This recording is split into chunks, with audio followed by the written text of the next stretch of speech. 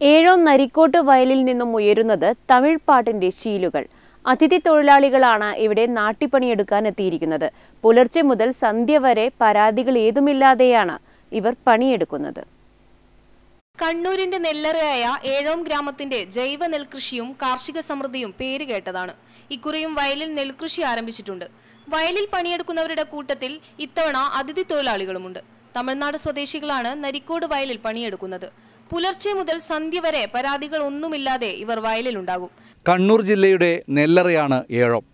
തൊഴിലാളികളുടെ ക്ഷാമം ഇക്കുറി. തമിഴ്നാട്ടിൽ നിന്നുള്ള കർഷക തൊഴിലാളികളാണ് പാടത്ത് കൃഷിക്ക് കർഷകരെ സഹായിക്കുന്നത്.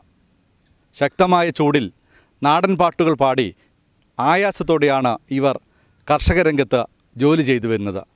ഏഴോത്ത് നിന്ന് ക്യാമറമാൻ സുമേഷ് പയ്യന്നൂരിനോടൊപ്പം നികേഷ് താവം നെറ്റ്വർക്ക് ന്യൂസ് പഴയങ്ങാടി.